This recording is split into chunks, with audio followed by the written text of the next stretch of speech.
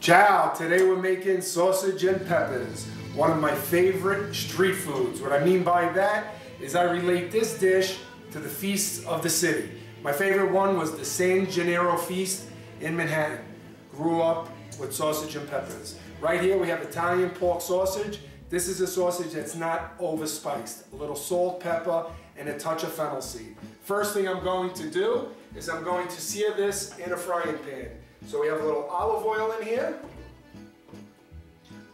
And we're going to add the sausage on medium-high heat. And we're going to sear that on both sides.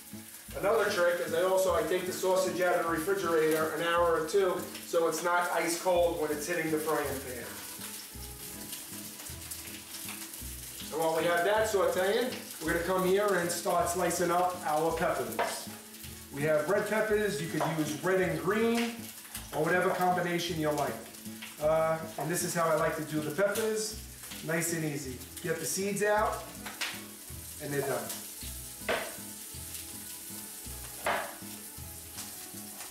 All right, sausage been cooking for about 10 minutes. They're about 90% cooked. You take a look at that beautiful crust and that caramelization. That's the difference what makes a great sausage and peppers.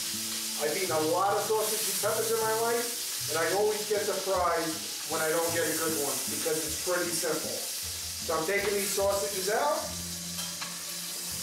and I'm coming back over here to my red peppers. Uh, finished dicing them, probably about half inch strips. I like to get the peppers in the pan a couple of minutes before the onions because it takes a little longer for the peppers to break down. Okay, we have the peppers in there. And I like to add a touch of salt. Okay, and we'll let that go while we start dicing our onion. Uh, our onion is a nice thick strip because this breaks down much more than the pepper does. Okay. We got the pepper peeling. I really do remember going to the feast and my parents giving me $10 for the night. Most of the kids would go to the games. The balloon game, the game with the bottles, get the dot in there to win your 50 cent stuffed animal. I always take in my 10 bucks and I've always put it towards food. My food menu at the feast was zeppoli's, a sausage and pepper hero, and I finished with a cannoli. Life couldn't get any better. So I have the onions here, I'm gonna check the peppers.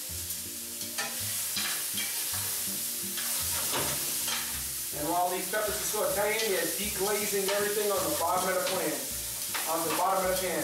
All the flavor that's left from the sausage. Going to take my onions now and put them there with the peppers and get that going for about 10 minutes. The sausage and peppers been cooking for about 10 minutes, the peppers and the onions, and I added the sausage back into the pan. I put a lid on it uh, for five minutes to get everything mixed in all together. Like a little cracked black pepper, and I like a little shot of red pepper in my sausage and peppers, okay? It's absolutely incredible. Take me back to the streets of New York. I mean, look at the colors, look at that. Okay, and we got nice, crusty Italian bread, and this is how I do it. Hungry, very hungry, ridiculously hungry. But today we're gonna go with just hungry. Okay, slicing the bread here. And I have to tell you, I met a friend a couple years ago, his name's Bob, he's from Chicago. He talks funny, and I know that's funny coming from me, talking about somebody's accent. But he told me about the Chicago style sausage and pepper, Italian beef, where they mix pork and beef. And I have to tell you, kind of sad I didn't grow up in Chicago, but we'll save that for another episode. So that's the sandwich. Let me take a bite of this and see what happens. Bam! You could take me right now and the world is good. Bon appetit.